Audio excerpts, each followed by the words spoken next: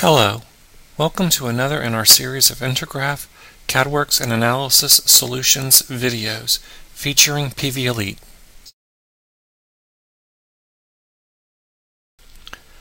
Today you will learn about adding material to the ASME Material Database Editor. Materials can be added to the PD5500 and EN13445 material databases in the same manner. From the Tools menu, choose Edit Add Materials, and choose the first option in the flyout window. These are the basic options in the Material Database Editor. Press the plus button to begin the process of adding a new material.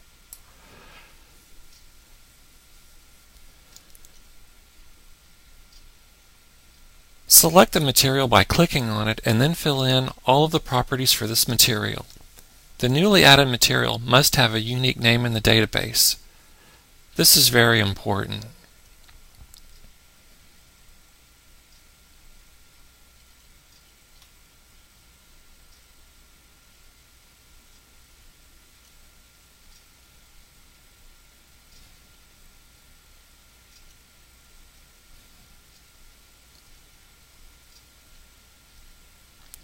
If you aren't sure what a value should be, use the Help facility to aid in your understanding of each of the input values.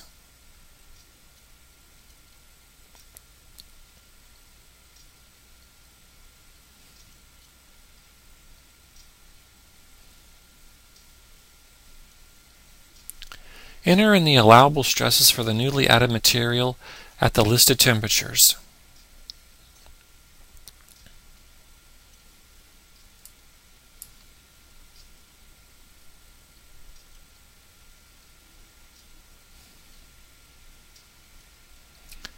Save and merge the database to the main PV Elite database. The user material database is now appended to the main PV Elite material database.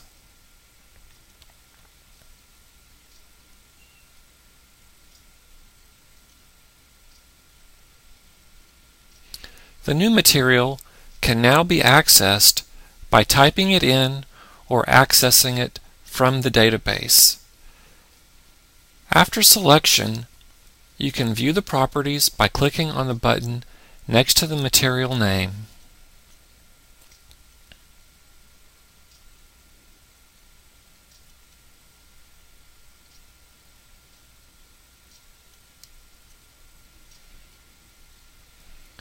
For ASME Section 8 Division 1, the database file is called umat1.bin and is stored in the main PV Elite system directory.